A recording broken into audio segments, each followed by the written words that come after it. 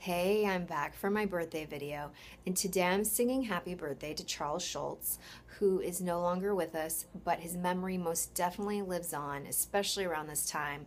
Um, the Great Pumpkin, Charlie Brown, and uh, what's the Christmas one called? I can't remember. Um, I don't remember. I remember the Christmas tree that Charlie Brown gets, of course, who can forget that? So, anyways, uh, here's to Charles.